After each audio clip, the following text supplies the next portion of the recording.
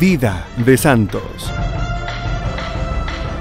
Queridos hermanos y hermanas, que el amor y la paz de Dios reinen en sus vidas y en cada uno de sus hogares. Hoy 16 de marzo la iglesia nos presenta como modelo de santidad a San Heriberto de Colonia, hombre de Estado y de iglesia que conoció el bienestar de la alta sociedad de su tiempo y lo abandonó para consagrarse a Dios en la austeridad de un monasterio. Puesto en manos de Dios, iría descubriendo a lo largo de su vida las señales de la ruta por la que el Señor quería que anduviese al servicio de la iglesia y de la sociedad. Heriberto significa el brillo del ejército.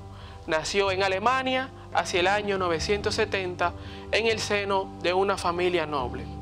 Su formación fue confiada a la escuela catedralicia, pues debía ser un hombre de Estado, pero Heriberto descubrió las excelencias del servicio divino. Dirigió sus pasos hacia el monasterio y allí esperaba santificar el resto de su vida. Se ordenó de sacerdote y luego fue consagrado obispo de Colonia en el año 999. Realizó misiones diplomáticas, creó la diócesis de Bamberg, su tarea principal y diaria era la atención pastoral de su diócesis. Se distinguió por su vida de estudio a la Sagrada Escritura, la oración, el celo pastoral y la especial atención a los pobres. También su aprecio por la vida monástica.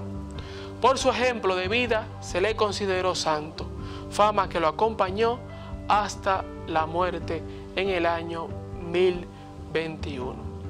Queridos hermanos y hermanas, levemos al Señor Todopoderoso nuestra oración.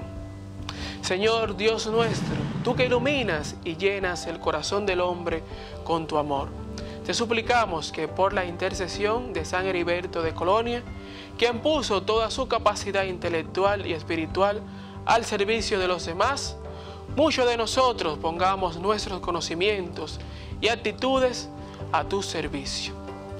Y no olvides que tú también puedes ser santo. Que Dios te bendiga. En el nombre del Padre, del Hijo y del Espíritu Santo. Amén.